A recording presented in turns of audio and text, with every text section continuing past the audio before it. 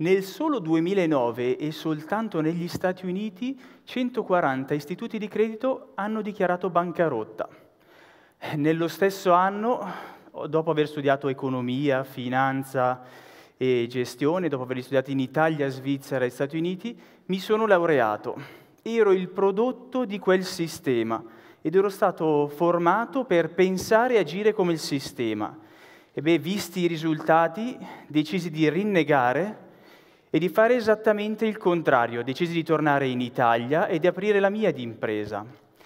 E il giorno che decisi che tipo di struttura dare alla mia impresa, eravamo in tre intorno al tavolo. Oltre a me c'erano i miei due attuali soci, uno un ingegnere con 15 anni di conoscenza del settore del legno e l'altro invece un manager con 20 anni di conoscenza del mercati esteri. Avevamo background differenti ma un piglio imprenditoriale eccezionalmente simile. Avevamo il desiderio di fare qualcosa di radicalmente diverso, era così opposto a quello che c'era sul mercato da poter funzionare. Più che innovare facendo un balzo in avanti, volevamo innovare scartando di lato. Prendemmo quindi un foglio bianco, grande, e tracciamo una linea nel mezzo. Da una parte scrivevamo quello che c'era sul mercato, quello che stava succedendo, dall'altra parte esattamente il contrario e noi avremmo fatto il contrario. 2009, quindi che tipo di nuove imprese c'erano, che tipo di, di, di, di prodotti c'erano sul mercato? Beh, tendenzialmente app, social media, Facebook oppure consulenza, riga. Allora noi avremmo fatto un prodotto, avremmo fatto manifattura. Eh, bene, per fare manifattura serve una visione di impresa e una visione di prodotto. Ed è curioso quando uno parla di visione che mm, strizza sempre un po' gli occhi e quindi noi, alla ricerca di una visione chiara, cerchiamo la cosa più immediatamente pertinente a visione. Visione, occhi, occhiali. Faremo gli occhiali. Sembrava una buttata, in realtà il mercato dell'occhialeria è molto interessante. Eh, si può sedurre il cliente finale parlando di comfort, parlando di design, parlando di qualità. E dal punto di vista di distribuzione è abbastanza eterogeneo, quindi si può dialogare con ottici indipendenti, si può dialogare con gruppi di acquisto e quindi sembrava un mercato abbastanza politico da permettere di sedurre e attaccare il cliente da diverse, da diverse angolazioni. Gli occhiali sono tendenzialmente di acetato o metallo riga, noi li faremo in legno, il legno materiale nobile, caldo, elegante, molto contemporaneo e soprattutto il mio socio sapeva, sapeva tutto del legno. Quindi occhiali di, legno, occhiali di legno sia. E dove si fanno gli occhiali oggi? Bah, tendenzialmente dove costa di meno, quindi in Cina o in Dongguan. Riga, noi invece li faremo in Italia con alta qualità ma come in Italia tutti fanno outsourcing, vanno a cercare dei fornitori specializzati, Riga, noi invece non solo cercheremo dei fornitori specializzati altrove, ma faremo la nostra manifattura di occhiali, nella quale avremo la proprietà e il controllo. Da come la tua manifattura, tutti vanno a ricerca di economie di scala per mantenere il prezzo basso. Riga, e allora noi manterremo il prezzo alto e i volumi solo attivati dal venduto e dal pagato. Ma come i volumi sono attivati al venduto e al pagato? Gli altri fanno il magazzino per essere pronti a inondare il mercato quando chiede qualcosa. Riga, noi daremo al mercato esattamente quello che chiede in poche settimane. Ma come esattamente quello che chiede? Gli occhiali sono tendenzialmente l'80% neri o color tartaruga e in realtà sono tutti uguali. Riga, e allora per la nostra manifattura di occhiali in legno le tre parole chiave saranno design, colore e personalizzazione. Ed ecco come è nata la mia azienda. Ad oggi la mia, la nostra azienda è la ragione per la quale 20 dipendenti della Val Brembana, una sessantina di venditori in giro per il mondo e qualche consulente si alzano la mattina e vanno a lavorare. È la ragione per la quale almeno un migliaio dei migliori ottici del mondo vanno a lavoro con un pizzico di orgoglio in più per quello che fanno ed è la ragione per la quale un piccolo, grande esercito di consumatori ha deciso di avere il proprio nome scritto sull'occhiale, non quello di qualchedun altro. E nonostante partimmo da un approccio provocatorio, da bastian contrario, l'idea che avevamo in testa, o meglio sul foglio, sottendeva un paradigma che era in grado di reggersi se cinque condizioni cardine potevano rispettarsi. E noi aderimmo in modo tenace, aderiamo in modo tenace a quelle cinque condizioni. La prima è che per fare manifattura in Italia bisogna fare un prodotto ad alto valore aggiunto, che quindi può essere venduto a un prezzo alto, ma il prezzo deve essere giustificato dalla qualità. Nel nostro caso la qualità è giustificata da tre elementi, la ricerca e sviluppo, i macchinari e le persone. La ricerca e sviluppo occupò due anni, dal 2009 al 2011, e fu interamente finanziata da capitale privato. I macchinari li sviluppammo ad hoc qui sul territorio e le persone mettemmo facilmente assieme un gruppo di, di, persone che erano state lasciate a casa a causa della crisi. Erano persone che lavoravano nel settore del legno, quindi avevano lavorato per molti anni magari prodotti poveri, una gamba del tavolo, una testata del letto. E dovete sapere che per fare un occhiale in legno come il nostro è necessario avere molta professionalità, molta manualità e una cura del dettaglio maniacale. Fu una vera epifania scoprire che quando andavamo a fare formazione ai nostri ragazzi, loro non solo avevano l'innata capacità di fare quel prodotto, ma guardandoli negli occhi sembravano voler dire ne abbiamo la capacità, anzi perché mai nessuno ci ha chiesto qua di fare un prodotto a così alto valore aggiunto? La seconda condizione del nostro paradigma dopo qualità è la velocità di esecuzione. Fare un prodotto, portarlo sul mercato, venderlo, raccogliere feedback e ripetere. La velocità di esecuzione è l'unica arma che una piccola media impresa, una piccola media startup ha per tutelarsi quando i competitor copiano, soprattutto in un paese come l'Italia dove tutelarsi dal punto di vista del know-how costa molti soldi e contempla tempi molto molto lunghi.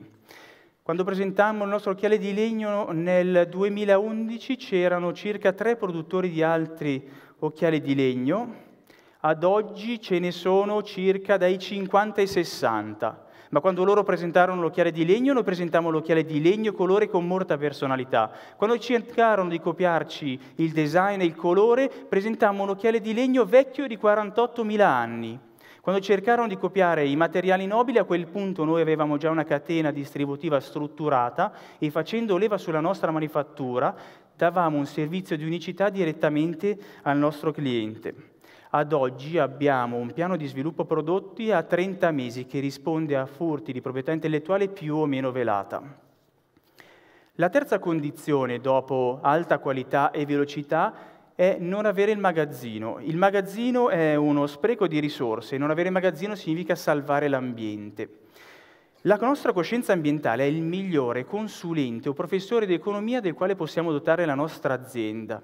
Essere eco-friendly non significa avere dei certificati sul proprio prodotto certificati sul proprio processo, ma significa sviluppare una forma mentis che tende a eliminare il magazzino, a ridurre il delta di lavorazione congenito del materiale a ottimizzare la logistica. E questo fa bene tanto all'ambiente quanto più al budget consuntivo di spesa soprattutto in un paese come l'Italia, dove la prima causa di fallimento per piccole e medie imprese è la mancanza di liquidità nel breve termine.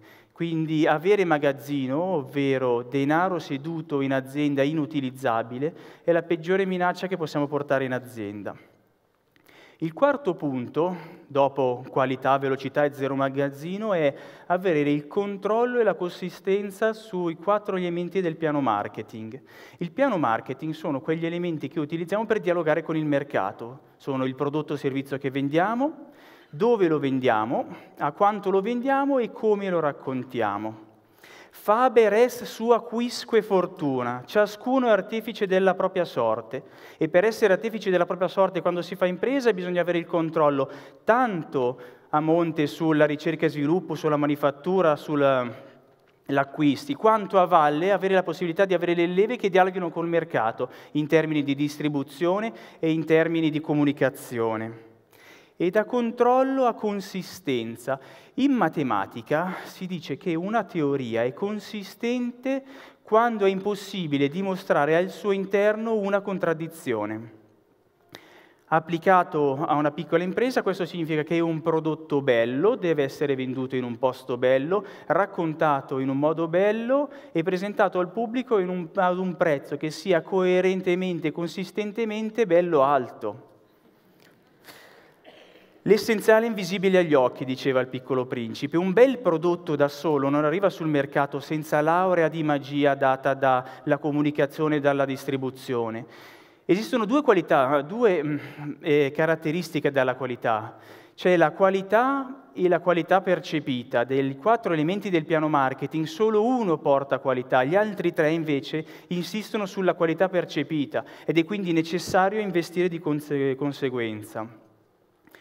Il quinto e ultimo punto del paradigma al quale aderimmo, dopo alta qualità, velocità, zero magazzino e controllo e consistenza sugli elementi del piano marketing, è avere esterni in azienda. Ad oggi abbiamo formalizzato un comitato nel quale siedono persone che non ricoprono ruoli direttivi in azienda, non sono immersi nella contingenza in azienda, non sono del settore.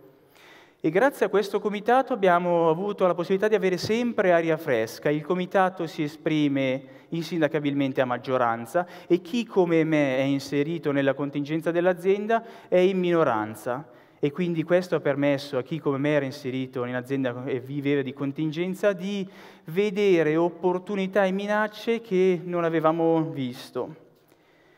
Ed è parlando di prospettive diverse che vorrei prenderne una qui ora con voi.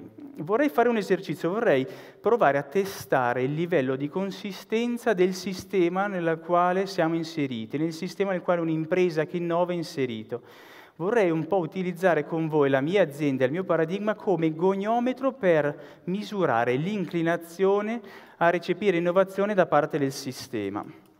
Se noi facciamo questo esperimento e questo esercizio, scopriamo che ci sono due grosse contraddizioni nel sistema.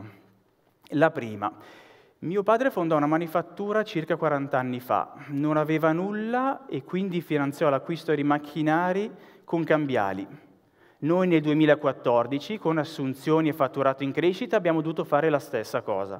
Ed ecco quindi la prima contraddizione. Il sistema bancario deve sviluppare il coraggio, il desiderio e la professionalità di riuscire a intercettare e supportare l'innovazione. Strumenti come l'attribuzione del rating basato sulla probabilità di fallimento di un'impresa non possono essere gli unici strumenti per poter decidere a chi o meno dare dei finanziamenti.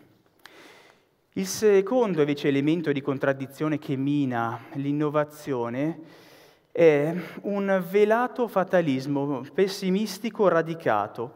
È una sorta di freno a mano mezzo tirato, una sorta di fiacchezza, frase non finita, ipercautela nei confronti di chi innova. Ed è presente tanto nella classe imprenditoriale quanto nel sistema dove la classe imprenditoriale è inserita ed ora per forza contagiante è presente anche sul mercato. L'innovazione nasce dall'azione contemporanea di due gruppi di persone. Il primo sono le persone che desiderano innovare e quelle ci sono. Il secondo sono le persone che decidono di non ostacolare l'innovazione. Ed è solo grazie a questo secondo gruppo di persone che visioni, innovazione, imprese, paradigmi, nuove imprese anche qui sul nostro territorio potranno avere terreno fertile e moltiplicarsi. Quindi se abbiamo la possibilità di influenzare il processo innovativo, allora abbiamo anche l'obbligo di non ostacolarlo quando lo vediamo arrivare. Grazie.